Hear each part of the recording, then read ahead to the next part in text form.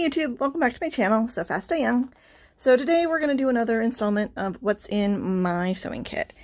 Um, I'm going to try and keep this a short video, but I'm going to talk about a lot of random tools that I own and I like in my sewing life. So um, we're going to start over here. We're going to talk about surgical clamp. Uh, so this is just a basic surgical clamp. You can get these like online, different places or whatnot, or in possibly local surgical stores.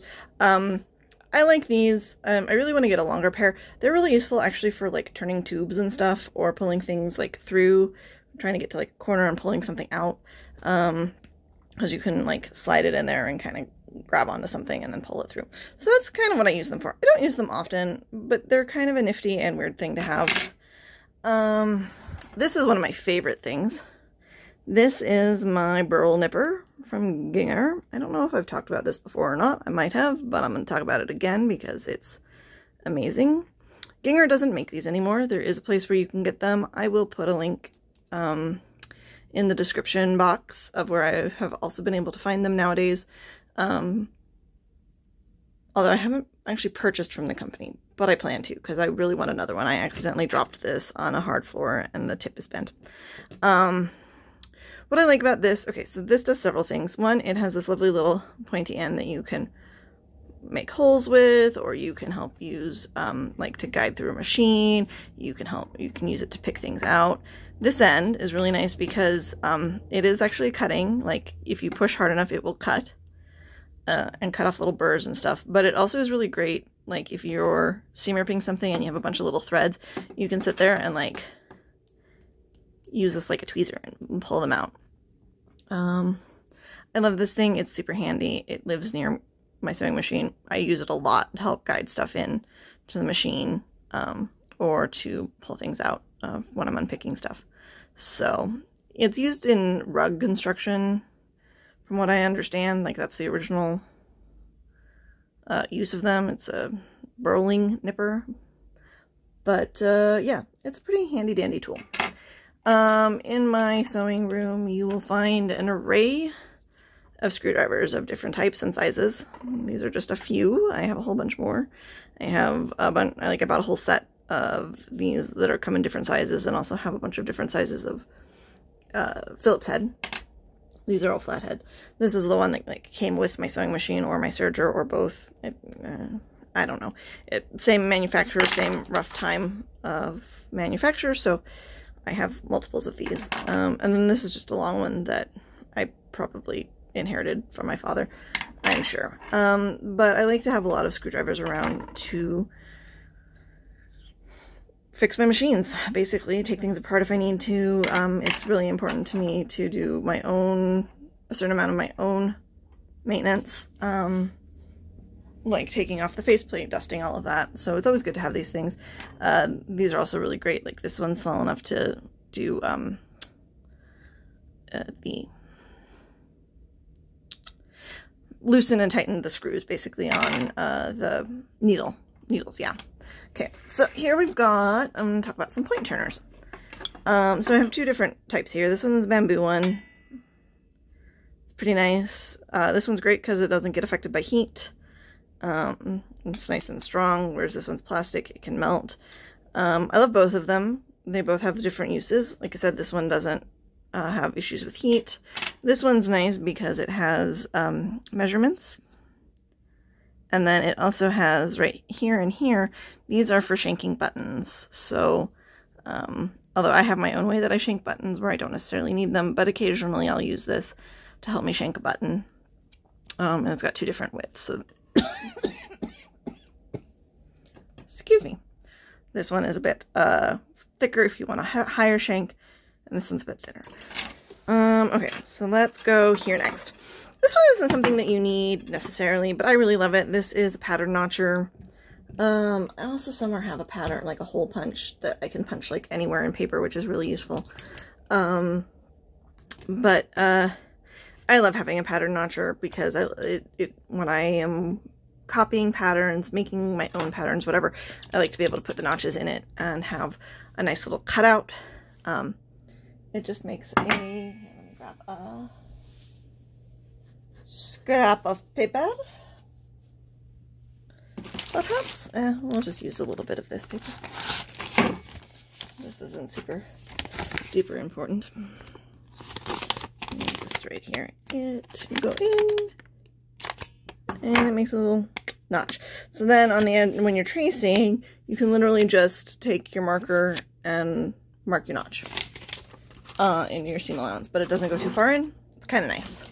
I love it. Um, so that if you're if you are going to do a lot of patterning, these are really cheap to get your hands on. I think I got this on eBay for like eight bucks or something, or maybe Amazon for eight dollars. I don't know. Wasn't a bad deal at all. Um, definitely you need a good pair of tweezers in your life. Um, especially long ones that have like little needles. These are specifically like for my serger, but they're good for a whole bunch of other things. I'll use them for a lot of stuff. But uh, I believe they came with my serger. Most sergers do come with a pair of tweezers because you almost always need them for uh, threading it. I highly recommend keeping nail file around. Um, like this is a cheap junk one. Some of these, they're good for all sorts of random things. Um, just, or, you know, you can have a metal one. Um, I have a bunch of these, so I usually keep one that I have that's just for sewing, for filing plastics, or little bits of metal or whatnot.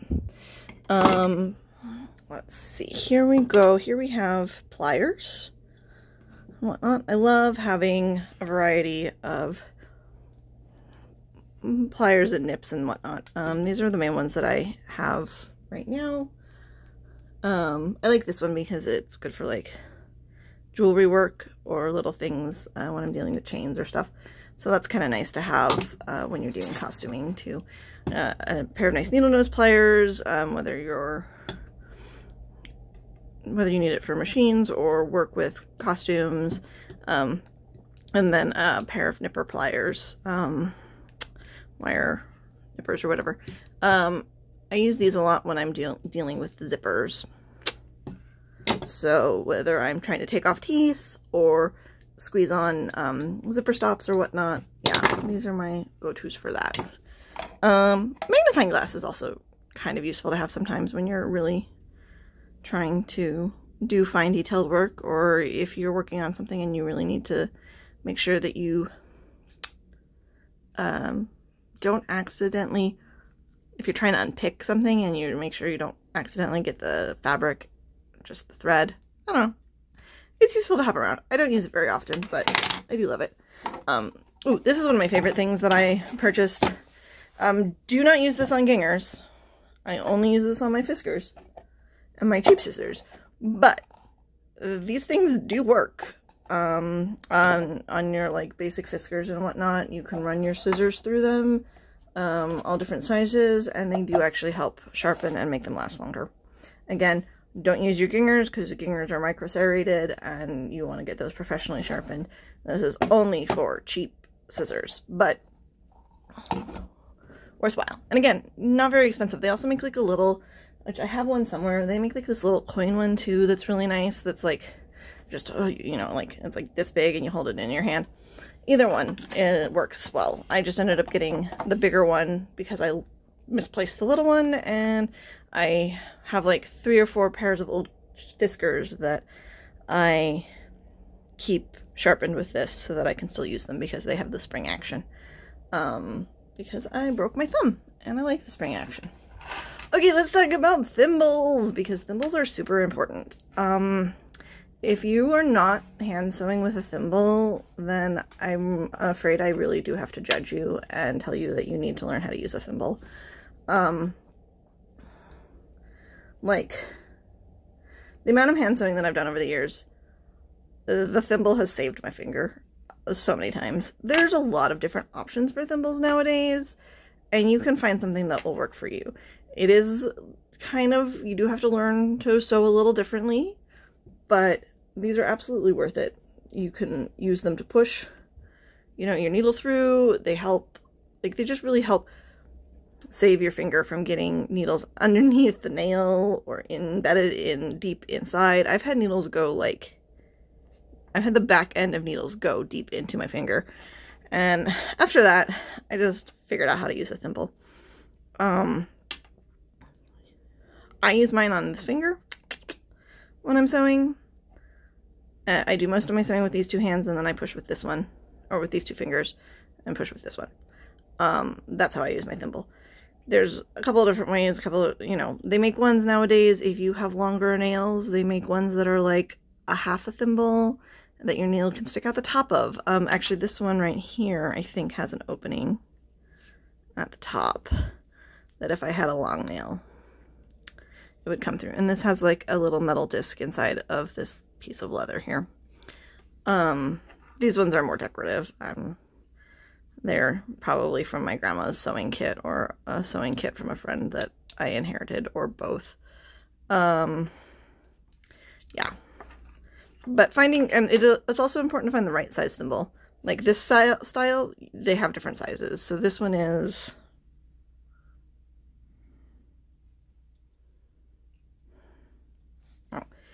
uh, I don't know. Let's see if we'll be able to see it. Uh, do you want to focus? You don't want to focus. All right, it says it's an 8 on the side. They are measured in millimeters, and then that's also converted to like a number chart that means something.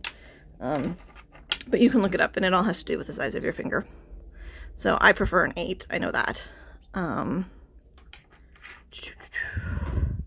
but really, like, learning to use a thimble is so, so, so, so useful as a sewer. Okay. Um, let's talk about pattern weights. All right, I, so I bought some of these pattern weights, like these you can get out of Joann's in like a four pack and they're really expensive. Eh. And they work, but they get in your way a lot. I started using these and I love them. These are literally just super cheap uh, nickel washers from the hardware store. I bought a bunch of them to try to make, whoops, I bought a bunch of them to try to make a belt out of this like recycled item book that I found at some point. and then I realized how heavy said belt was when you add like 20 of these to go around my size hips and then I was like nah never mind so originally I was gonna like sew them together and make like stacked uh fabric weights like this but I realized no they work great like this they also have a low profile so stuff doesn't, like they don't get knocked as much. Uh, they're really easy to slide out of the way if you need to put a ruler down next to it. Um, I, I actually super recommend just getting some cheap big washers for pattern weights instead of spending money on things like this or other like silly silly but cute pattern weights and I mean like cute pattern weights are nice but it's also nice to just have something cheap and functional so don't feel bad if you just want a cheap functional pattern weight and you buy washers. And I mean, I have like a dozen, I have dozens of these laying around and I just use them for that or for other things. They hold down fabric. It's really nice because you can buy a lot of them. Like this is a four pack for, I don't even remember how much it is, but it's a lot. And when you're doing large patterns, like being able to lay and spread out a lot of them is really nice. So um, oh, okay. So last little thing that I'm going to talk about is punches and uh, setters. So this is a leather punch. It's mostly used for leather. You can use it for some thick fabrics. I don't often punch holes in thick fabrics with this. My preference when I'm trying to put a hole through fabric is when at all possible to use an awl um, and make the hole as big as possible by spreading the fibers rather than actually punching a hole through them. If you spread the fibers, then you have less um, broken ends. Uh, whereas this, you know, gives you a lot of cut ends and then you have to deal with it possibly fraying. Even when you're putting a grommet around it. I've had stuff pull out. So, um, but yeah, this I usually, I definitely keep one of these around. These are really great. I mean, I'll use this, I'll buy a belt and if I need an extra, an extra hole or something, I can use that to put that in or like I said, different fabrics. Um, I bought it when I first started making corsets and then I learned that it's better to try to spread the fabric with an awl versus punching a hole in it.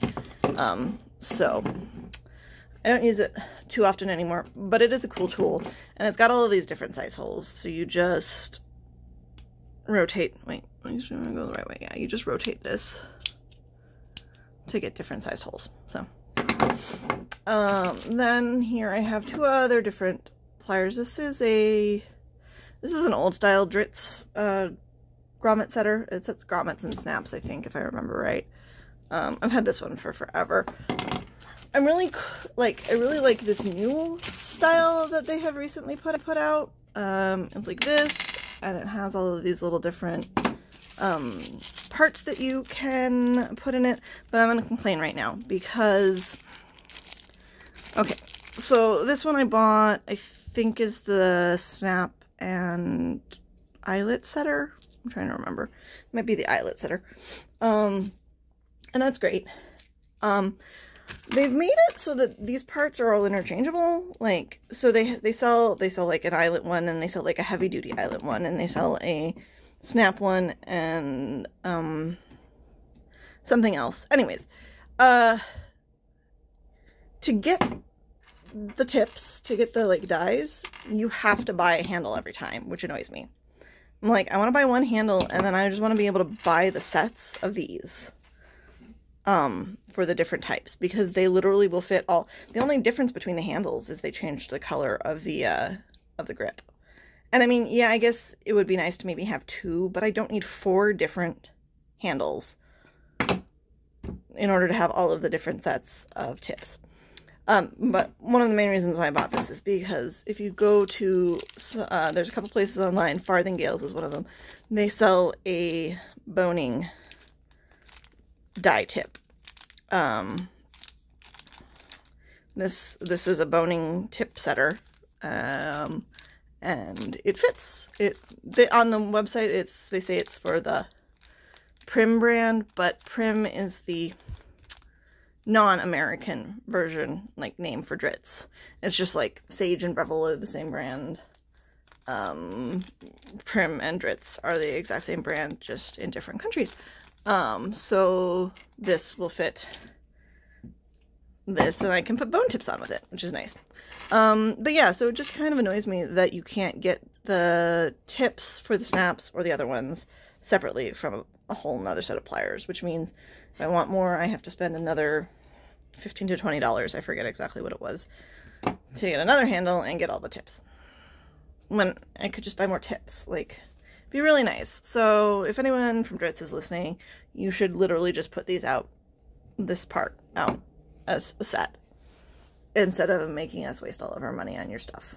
But I know you and I know how you don't like to do that. So because you haven't liked to do that for years. So, you know, I don't expect you to actually listen to my suggestion. Um, yeah.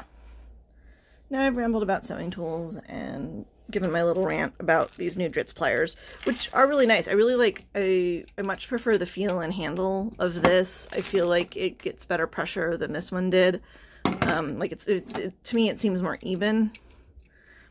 I don't know, might be my imagination. But, um, but yeah. Um, so, if anybody has any questions or comments or wants to know more about any of these tools or other tools I might use in my sewing life, please feel free to leave a comment below and I will try to answer you. Um, as always, you know, like, subscribe, follow me, come seek me out on other forms of social media. I have, you know, um, an Instagram and a Tumblr where I mostly reblog a lot of stuff, but then I'll occasionally post uh, other interesting things um, or stuff that I'm doing or like sneak peeks of upcoming upcoming projects and whatnot. And yeah. Um, I hope this video was informative to some and maybe you learned about some cool tools that you didn't know existed or have some thoughts about what you might want to add to your sewing collection. So, hope everyone's having a good week, and love you. Bye.